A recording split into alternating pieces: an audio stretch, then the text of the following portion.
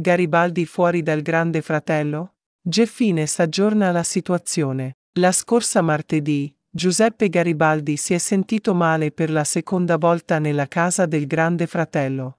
Il concorrente ha avuto un improvviso malore mentre si trovava in bagno, manifestando sintomi di nausea e vomito.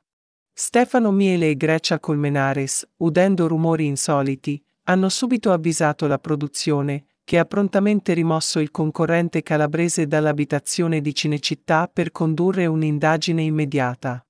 L'unico aggiornamento sulla situazione di Garibaldi proviene dal suo fratello Nicola, che ha rassicurato i fan tramite Instagram, volevo solo informarvi che si sta riprendendo bene e che non c'è motivo di preoccuparsi.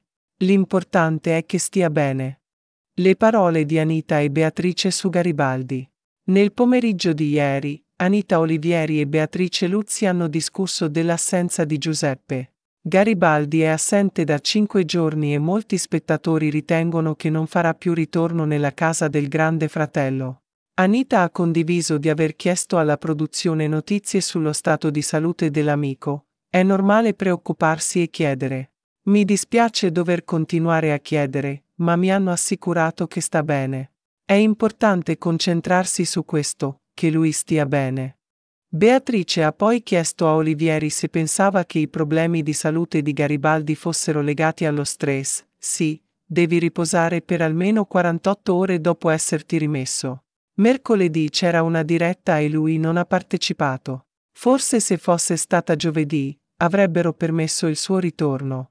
L'importante è che si rimetta completamente. Tornare qui con il morale alto non deve essere fonte di stress, ma credi che sia stato causato dallo stress?